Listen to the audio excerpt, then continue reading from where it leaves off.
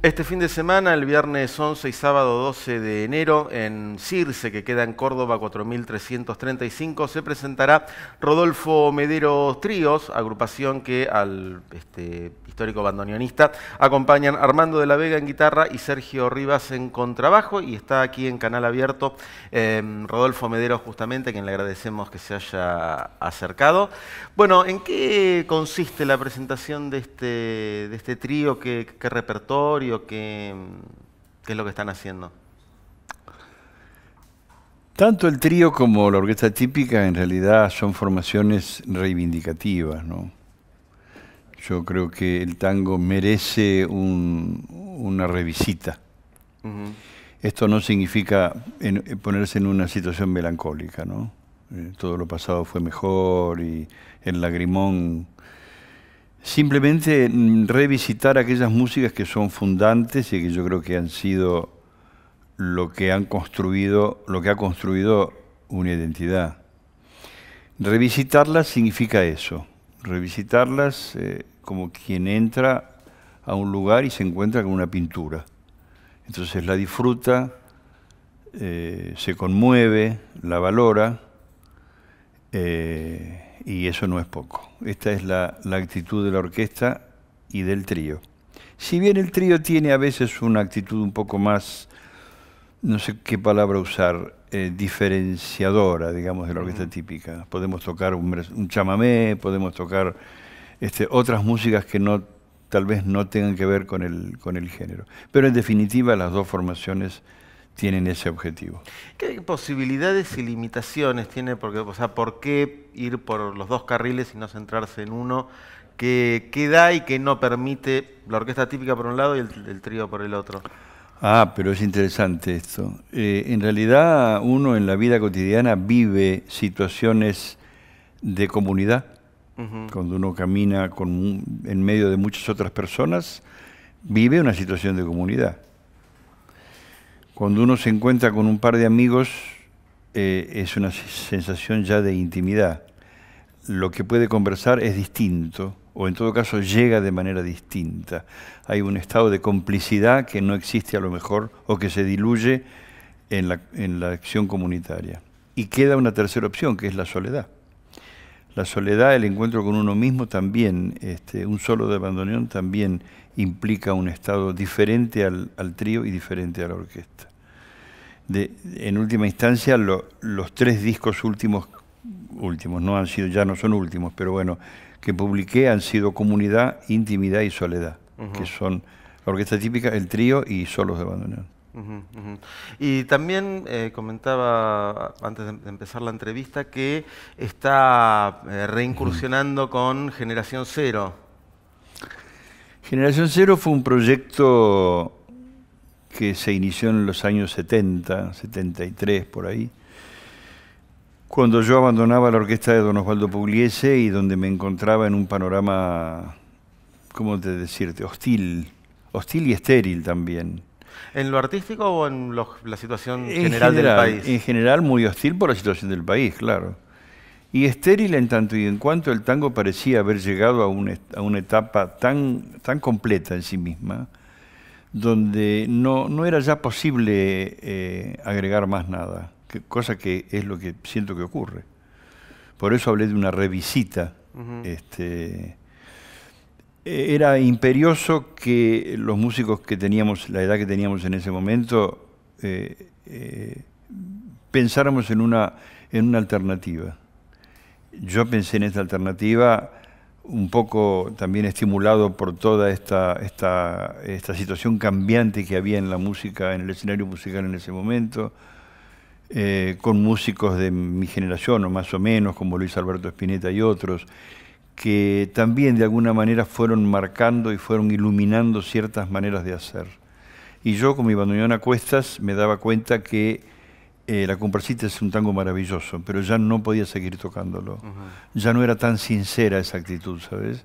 Entonces, más sincero sería equivocarse, en todo caso, pero intentar algo nuevo. Eso fue el objetivo de Generación Cero y que curiosamente 40 años después vuelve a ser lo mismo siento que ahora necesito otra cosa, que ya no es la revisita a un género maravilloso que es como estar dentro, dentro de la propia casa. Necesito una, una expansión de los límites. Creo que la ciudad está necesitando una música que la represente. Ahora ya la licuación es tan poderosa que ya no hay nada que la represente y no voy a decir que yo soy el que la va a representar, pero sí por lo menos quiero intentar esto, ¿sabes? Ajá. Sí, eh, mencionaba recién a Spinetta y también ahí se empiezan como a tender puentes ¿no? entre géneros, que por ahí antes era todo más compartimentos, más uh los tangueros con tangueros, los rockeros o los folcloristas con folcloristas. Eh, usted toca creo que en Invisible, ¿no? En, el en las golondrinas de Plaza de Mayo. Estoy en Invisible y estoy en otros grupos que no recuerdo ahora, eh, porque Luis Alberto ha tenido muchos muchos grupos.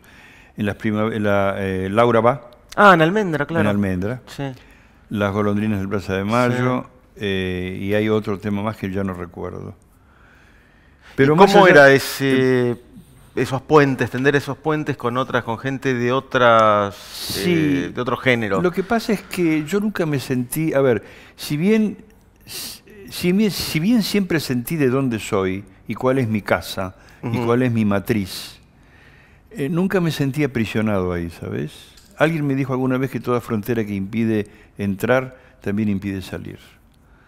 Entonces necesité salir y ver, pero no salir tan lejos, no es que me tuve que ir a Australia.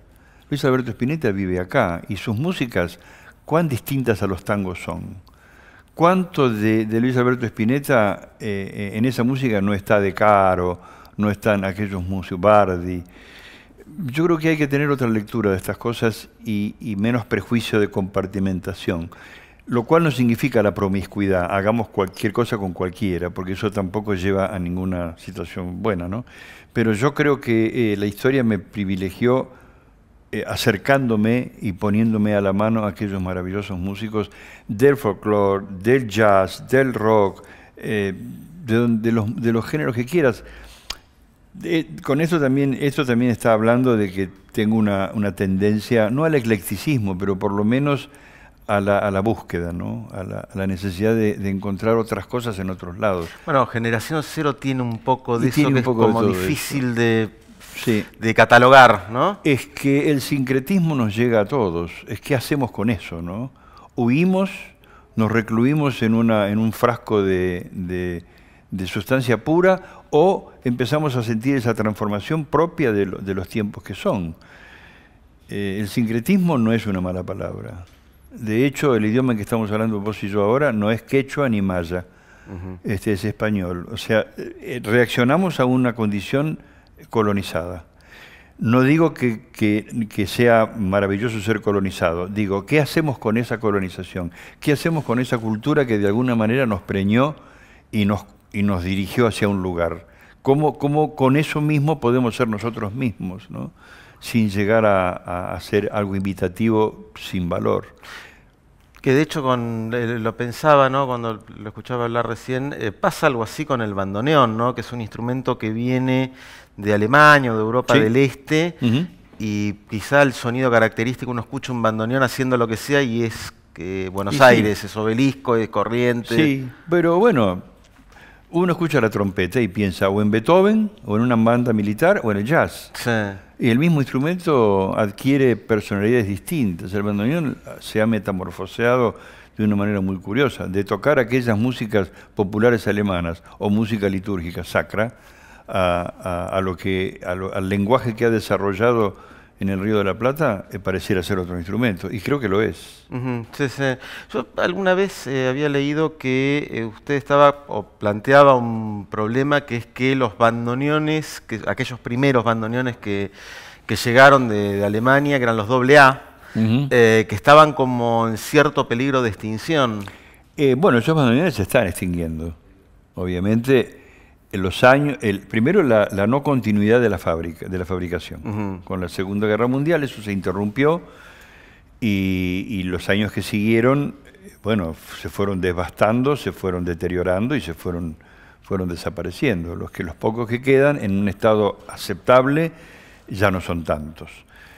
Por suerte hay el, ahora, no, ya, no, no, desde hace mucho tiempo, pero en nuestros últimos años la, han aparecido luthiers jóvenes acá en Argentina que están trabajando muy seriamente. No sé si todavía han alcanzado aquella sonoridad, pero creo que algunos de ellos o alguno de ellos, este, que no me atrevería a nombrar porque incluso hasta no, conocer mejor el instrumento, pero tengo, tengo noticias de que están haciendo muy buen trabajo con nuevos bandoneones, lo cual es una buena noticia. Porque ese sonido no se había podido volver a Ese sonido fue, vos viste lo que pasa con los instrumentos, es como, como la voz humana, qué sé yo, uno puede hacer este, mucho entrenamiento, puede intentar imitar a fulano o a sultano, pero en definitiva hay algo en la propia naturaleza de ese objeto, las cuerdas vocales o el instrumento, que lo hacen inimitable.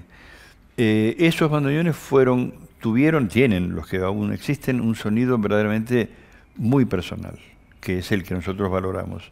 Llegar a eso no fue tan fácil. Ahora creo que hay algún, algún fabricante acá en Argentina que está aproximándose y ojalá superándolo. o sea, estos doble A son todo lo que hemos escuchado en discos de tango de acá, sí, Troilo, Piazzolla. Absolutamente, sí, sí. Eran todas esas esa fábrica. Sí. volvía también a esto del tango como un corpus o una obra ya concluida. Mm. Eh, me, llamó la atención leerlo en, otros reportajes, y ahora que también lo decía, en, un momento, creo que a comienzos de este siglo, empezó como un resurgimiento de nuevos, no solo de nuevos intérpretes, sino nuevos compositores de, tango. ¿Eso no le, parece que ya es otra cosa? Eh, a ver, yo creo que siempre hay que estimular y aplaudir a aquel que hace más que al que no hace. Lo cual no significa que esté de acuerdo con lo que se hace. Eh, yo aplaudo y estimulo al que hace porque, insisto, eso es una manera de encontrar algo en algún momento. Eh, no me estimula mucho lo que ocurre en este siglo, esto también es cierto. Conociendo la sustancia de la cual estamos hablando, en la, en la, época tal vez dorada del tango, en los años 40, por ejemplo, por poner tal vez el generalato, la, cúspide, si queremos, eh, no, todo lo que se hizo posteriormente, incluso mis propias obras, no, no, no igualan, eh, no superan nunca y no igualan tampoco. Yo creo que aquello fue, eh, fue posible porque fue posible por la sociedad en que se desarrolló, por las condiciones en que eso ocurrió. Ahora es una especie de sumar algo más, algo parecido a lo que ya estaba, con lo cual eh, prefiero buscar por otro lado. Y en, cuanto a, a otros géneros, ¿no? donde por ahí usted decía que, que se mueva, que ¿Qué cosas lo han conmovido, impresionado así de, los últimos años? Y, para terminar de ah, ah, decirte, no, no, no, ahora que dijiste otros géneros, esto no solamente es un fenómeno del tango, es un fenómeno del jazz también, pero de todos los géneros, del, bolero, de la bossa nova, del flamenco, digo, como que han dado lo que tenían que dar, como que son, son obras concluidas, son libros terminados, pinturas concluidas. Tendríamos que disfrutar de ellas y al lado tenemos una, una hoja en blanco que llenar. Esa es nuestra responsabilidad. No llenarla con, eh, con, caricaturas o fotocopias de lo que ya pasó. Alimentarse de eso para generar una nueva cosa. Lo que pasa es que la sociedad no nos está dando el estímulo para una nueva cosa, nos está quitando el estímulo. Este es un problema. Esto no lo digo yo y no quiero decirlo para eh, dejar una, una cuota de pesimismo en tu programa, pero este, la sociología moderna está hablando ya desde hace bastante tiempo de una sociedad líquida y la licuación tiene que ver con, los principios de la cultura. La cultura ya casi no existe, existen como costumbres, como, como amaneramientos, pero un hecho cultural eh, genuino que sea representativo de un, de un grupo social ya no existe como tal y la globalización es un claro socio de, esa destrucción. ¿no? Entonces, no sé, me habías hecho otra pregunta. De, ah, ¿qué, de otras músicas? Algo así ¿qué, de otras músicas de nuevos este, exponentes de musicales así en general? No, para mí los nuevos exponentes siguen siendo Horacio Salgán, Aníbal Troilo, Osvaldo Pugliese, eh, Pink Floyd, Emerson Lake and Palmer, Yes, Focus, eh, la, vanguardia está ahí todavía, eh, yo creo. ¿El tango en qué momento se concluyó este libro? ¿En qué momento se le puso el punto final, según su valoración? ¿O en qué momento usted dijo, bueno, esto fue todo, amigos? No, es fácil decir, no es un día martes 27 a las 4 de la tarde. Bueno, qué época. Pero yo creo que yo creo que en los años 40, como te dije, fue la 40, 45 fue la cúspide y luego empezó un lento e indeclinable decaimiento. Y creo que la llamada Revolución Libertadora tuvo mucho que ver también con eso. O sea que Piazzolla ya lo pone como post-tango. Sí, sí, sí, para mí sí. Sí, sí.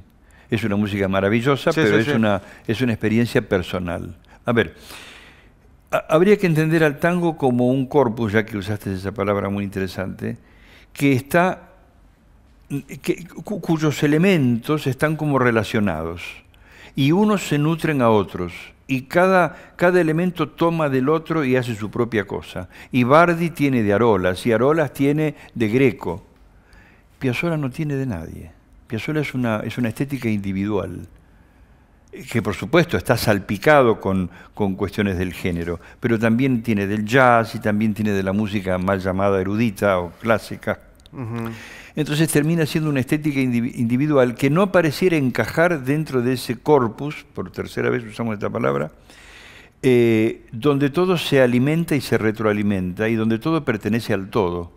Me da la sensación que Astor es como una especie de eh, de música tangencial, maravillosa música, que yo disfruto muchísimo y de la cual he aprendido mucho. Ah, usted se formó tocando con él, ¿no? No necesariamente. Astor fue en mi vida un, un, estímulo importantísimo y sigue siéndolo. Pero en realidad mi formación viene de mucho más atrás. Yo tengo más que ver con Pugliese, con Bardi, con De Caro, con Arolas, que con las tendencias más... Eh, Vanguardistas. Mm, sí, más últimas, digamos. ¿no? Y volviendo a esto de, esta sociedad líquida o, del momento en que nos encontramos, ¿cómo se lleva con el tema de las nuevas tecnologías en cuanto Mal, muy mal. no, digo, a ver, eh, evidentemente el mundo que viene uno no puede ignorarlo ni negarlo porque sería un necio, ¿verdad? Eh, es cierto que uno ya no está, por mi generación, preparado neurológicamente para eh, incorporar rápidamente eh, estas cuestiones. Esto ya todos lo sabemos. Tus hijos van a ser más veloces que vos y vos mucho más que yo. Esto es así. incorporo las tecnologías a duras penas como puedo, hago cosas, me manejo, tengo gente que me ayuda. la pregunta que tengo que subyace este, y que puedo hacértela en voz baja para que nadie se entere, es, ¿tan necesarias son? O en todo caso, ¿nos harán más felices? Esa pregunta de si el hombre será más feliz con esa tecnología es la que me sigo haciendo. Y en todo caso, podría haber otra pregunta, ¿qué es la felicidad? Y ahí ya entraríamos en un terreno más socrático, ¿no? más, más de la filosofía. Habría que definir qué es para cada uno, lo, qué, para, qué lo hace feliz a cada uno. Esto es cierto. Pero obviamente esto es materia para otro programa, ¿no? Pero yo muchas veces me estoy preguntando si el ser humano encontró la felicidad. Me parece que la perdió más que que la encontró. No estoy responsabilizando a la tecnología, pero digo, qué curioso que en un, mundo tan, tan tecnificado y hace la tecnología, el hombre cada vez es más dañino, eh, más agresivo, eh, más autista, eh, menos cooperativo, más competitivo. Es curioso esto. Esto nos, nos, debería hacer pensar si estamos en la, en la senda correcta. Insisto, no estoy descalificando la tecnología porque uso un reloj y prendo el fuego para hacer el mate cocido en mi casa, que de alguna manera es una tecnología. Sin embargo, este, la, eh, no el exceso, sino cierto acondicionamiento que la tecnología nos, nos pone, me parece que nos lleva a un terreno complicado. Y no quisiera profundizar más porque estaría excediendo mi, conocimiento. Eh, por último, para cerrar y por ahí saliéndonos un poco demasiado, de lo que veníamos hablando, no, yo eh, personalmente el primer conocimiento que tuve de que había alguien que tocaba el bandoneón que se llamaba Rodolfo Medero fue por una película de Hugo Santiago. Uy, sí. Eh, no, Las veredas, de Saturno. De Saturno. ¿cómo, ¿Cómo ha sido su relación con el tema de la música e imagen? A ver, a mí los sentidos ah, para mí van colaborando, ¿no? Yo veo la música, oigo la pintura, qué sé yo, eh, gusto a las palabras. Me, parece, y esto no es algo este, eh, de perogrullo, digo, eh, los sentidos van como colaborando, como interactuando. Eh, la imagen nunca se separa de la música. La propia música es una imagen, si, si quisiéramos. Un sonido ya genera una imagen. Por lo tanto, la cinematografía, si es que de eso específicamente estamos hablando, o una pintura, o un paisaje, o una situación, esta misma situación, podría tener una música, le cabría una música. Así como hay luces y silencio, que es una música en definitiva, es algo que suena, la nada también suena. Digamos, eh, uno podría imaginar que hay una música que subyace en todo esto. Por lo tanto, cuando hago música, y también veo imágenes, y cuando compongo y decido ese acorde o aquel, o aquel ritmo, y también estoy pensando no en imágenes utilitarias de una escena cinematográfica, pero en imágenes en general. Esto me aproxima mucho a la cinematografía. Yo siempre fui muy, muy entusiasta de este, de, esta, de este aspecto artístico la posibilidad que me dio Hugo Santiago fue maravillosa porque yo nunca había hecho este tipo de cosas, si bien declaré mi gusto, nunca fui actor ni nunca hice nada corporal, más vale que soy medio de palo en este sentido, y mis únicos movimientos son con el bandoneón, ni siquiera bailo, imagínate vos cómo... El que toca no baila, ¿eh? El que toca no baila. no baila. De ahí a ponerme a hacer todas esas cosas que Hugo Santiago me pidió que hiciera, ah, para mí fue un, riesgo y un, y un, y un, este, eh, y un reto también. Y lo hice como pude hacerlo eh, la verdad es que agradecí mucho las circunstancias porque aprendí mucho de mí mismo también. Viéndome y viendo qué limitaciones yo tenía para hacer tal cosa, me di cuenta de cuántas limitaciones uno tiene y arrastra. Que esto además en una época en la que por ahí tener un registro audiovisual, sí, claro. sería con cualquier teléfono, en ese momento no sería habitual, ¿no? Claro, pero, claro, exactamente. Eh, entonces, tener que hacer de otro, si bien ese otro era muy parecido a mí, hacía de otro reaccionar a otro nombre, eh, eh, eh, ficcionar amistades que no eran, amores que no eran, lugares que no eran, a mí me, puso en una situación casi te diría de sesión psicoanalítica, ¿no? Empecé a descubrir cosas mías, limitaciones y, potencias, ¿no? este, fue maravillosa esa experiencia. ¿Y eso ¿Por qué lo eligió usted pudiendo haber elegido un actor? No lo sé, sí. No, es que Nunca le dijo por qué. Hugo, mezclaba en su estética, siempre en sus películas mezcló actores y no actores. Eh, estaba buscando como esa cosa que produjese una cierta tensión, ¿no? Eh, porque el actor en definitiva tiene como algo de confiabilidad. Sabe que, se sabe que un actor, en el estilo que fuere, esa escena que le toca hacer, por, sus herramientas que incorporó, la va a hacer de determinada manera. Hay una cierta confiabilidad. En el no actor hay otra cosa un poco más inquietante. Creo que Hugo lo que buscaba era eso. Bien, bueno, le agradecemos mucho la visita y repetimos la invitación entonces para... En Circe, eh, sí, viernes 11 y eh, sábado 12 con el trío. Circe está en Córdoba, 4335. 4300. Sí. Sí, muy bien. Bien. Gracias.